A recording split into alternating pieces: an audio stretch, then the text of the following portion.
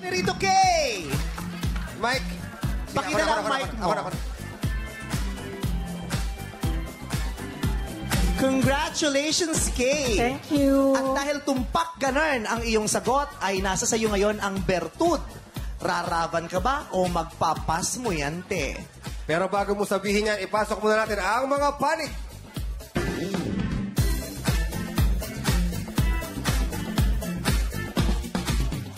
Mga panig na pagpipilian ay nilasing na hipon o pinaupong manok. Parehong masarap yan, ha? Ano naman kaya ang usapin dito? Pag nakita mo yung mga panig, mag-iisip ka agad, ano kayang tanong? Oo, correct. Diba? At dahil nga meron kang pribilehiyo, dahil nasa iyong bertud, mauuna kang makakaalam kung anong tanong, kaya naman tawagin na natin si ate girl.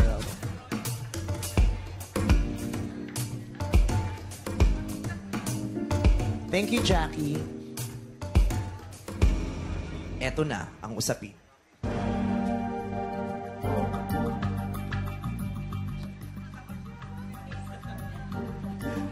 Alam mo, kahawig mo si Kimora Lee. Sino yung yun? designer. Marami po sa, nagsama. sa Amerika. Merong reality show din yun si Kimora Lee. Oo. Kapatid din. Nung medyo payat si Valentino. Marina Benepayo. Oo, Marina Binipayo din. Okay. Habang nag-iisip ka, ipapaalam ko na sa lahat ang usapin. Ang usapin ay, sino ang mas nanghihina? Yung nilasing na hipon o yung pinaupong manok? Sino nga ba ang mas nanghihina sa dalawa? Yung nilasing o yung pinaupong manok? Okay. Dahil nandiyan na yung katanungan. Eto na, anong bertud ang gagamitin mo, Kay? Ravan o pas mo yan, te? I want to uh, reserve my energy later. So, pass mo yan, te. Pass mo yan, te! That's very smart. Para siya nga naman ang Yes. pasama hanggang sa huling round. Pass mo yan, te. So, dalawa kayo natitira. Kayo ang maglalaban, Angel at Marigona.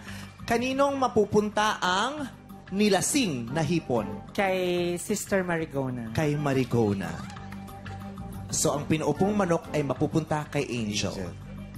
Sino ang gusto mong unang magsalita? Si Marigona na lang, mukha namang magaling talaga siya eh. Okay, Marigona. So, halika na, Marigona and Angel.